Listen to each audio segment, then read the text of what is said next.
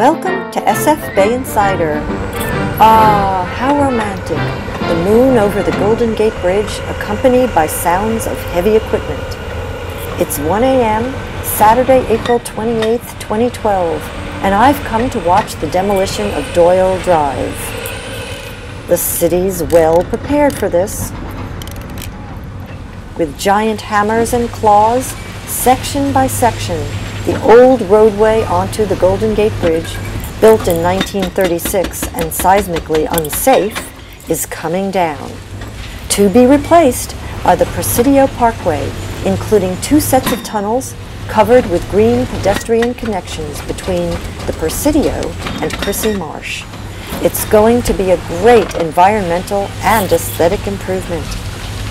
Demolition began Friday night at 8 p.m and the construction company in charge promises to meet the deadline of Monday morning 5 a.m.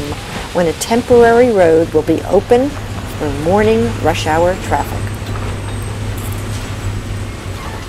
With a tremendous amount of personnel and a beautifully orchestrated demolition plan, it seems quite likely that the deadline can be met.